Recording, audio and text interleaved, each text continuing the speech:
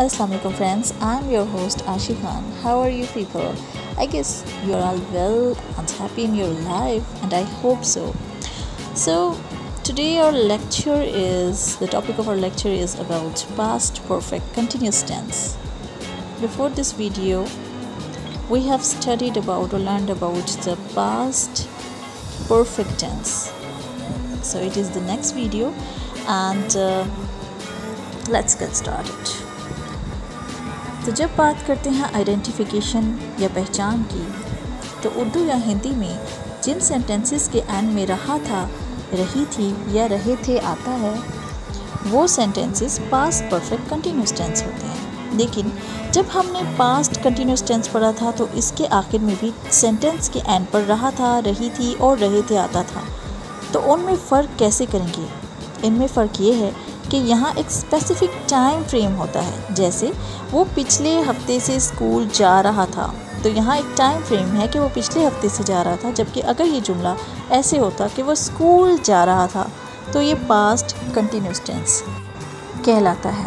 अब बात कर लेते हैं इसके फार्मूले की। तो इसका फार्मूला है subject plus had plus been plus verb की first form plus object plus since या तो फोर इसमें यूज़ होता है। सो so, ये वीडियो आपने ज़रा गौर से देखनी है क्योंकि इसमें अब दो नए वर्ड्स सिंस फोर ऐड हो गए हैं। तो अब इन दोनों में से कोई एक लाजमी आता है लेकिन कौन सा सिलेक्ट करना है ये आप जानते हैं? नहीं?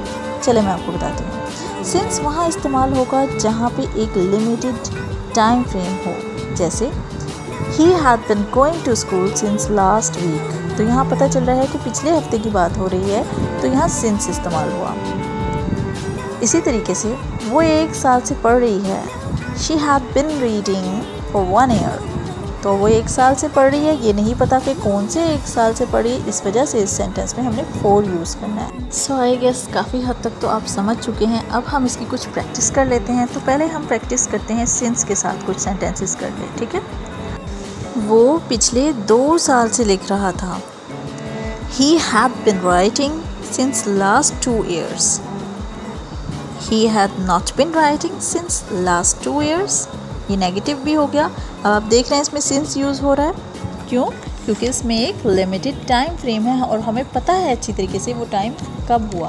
पिछले दो सालों की बात हो रही है। और इसी को इंटेरोगेटिव में अगर change had he been writing since last two years इसी का नेगेटिव इस तरह से होगा had he not been writing since last two years अच्छा एक चीज़ का इसमें आपने ख्याल रखना है कि बीन नहीं पढ़ना बिन प्रोनाउंस ठीक करना है। नेक्स्ट सेंटेंस मैं सुबह से आपका इंतज़ार कर रहा था।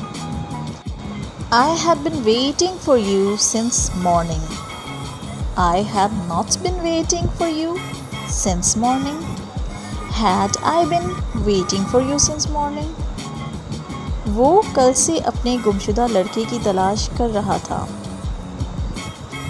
he had been searching for the lost child since yesterday he had not been searching for the lost child since yesterday had he been searching for the lost child since yesterday यहाँ पे भी हमें कल का कल की बात बता रहे हैं तो ज़ाहिर है वो गुजरा हुए कल की बात हो रही है तो टाइम फ्रेम लिमिटेड है स्पेसिफिक है। वो पिछले दो माह से होटल चला रहे थे।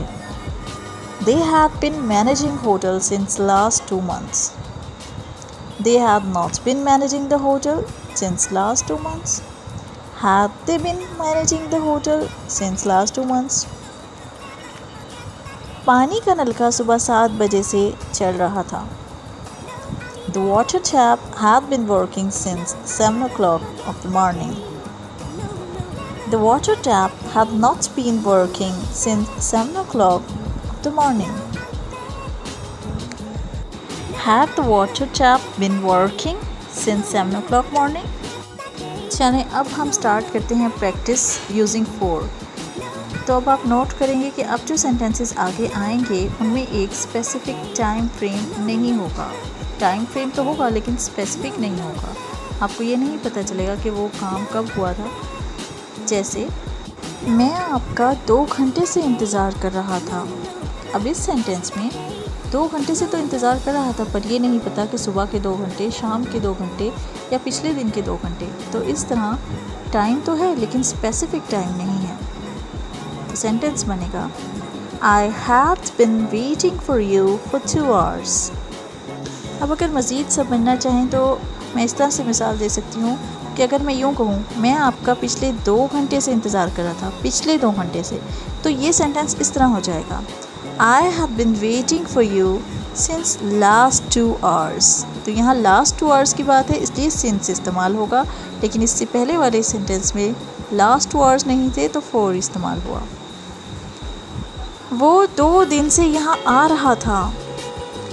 He have been coming here for two days he have not been coming here for two days had he been coming here for two days अब ये कौन से दो दिनों की बात है? हमें कोई पता नहीं। इसलिए यहाँ फोर यूज़ हो रहा है। हम दो साल से इसका इंतज़ार कर रहे थे। अब ये कौन से दो साल हैं? We don't know so we have been waiting for him for two years we have not been waiting for him for two years had we been waiting for him for two years लड़के दो हफ़्ते से मैदान में खेल रहे थे boys have been playing in the ground for two weeks boys have not been playing in the ground for two weeks. Has boys been playing in the ground for two weeks? उस्ताद छः महीने से हाजिरी लगा रहे थे Teachers have been marking attendance for six months. Teachers have not been marking attendance for six months. Had teachers been marking attendance for six months? So so, friends यहाँ आज का हमारा लेक्चर अपने अख्ताम को पहुँचा है आज के बाद आपको कभी पास परफेक्ट कंटिन्यूस टेंस में कोई मुश्किल पेश नहीं आएगी आई होप सो अगर आज की वीडियो से आपकी इन्फॉर्मेशन में थोड़ा भी इजाफा हुआ है तो वीडियो को लाइक ज़रूर कीजिएगा और चैनल को सब्सक्राइब करना बिल्कुल ना भूलेगा। साथ ही साथ कमेंट्स करके अपना फीडबैक ज़रूर दीजिएगा कि आज की वीडियो आपको कैसी लगी और इस मज़ीद आप क्या चाहते हैं, किस किस्म की वीडियोस चाहते हैं। और बेल आइकन को प्रेस करके आइंदा आने वाली तमाम वीडियोस की नोटिफिकेशन भी हासिल कीजिएगा। इसके साथ मुझे इजाज़त दीजिए। थैंक यू अल्लाह हाफिज़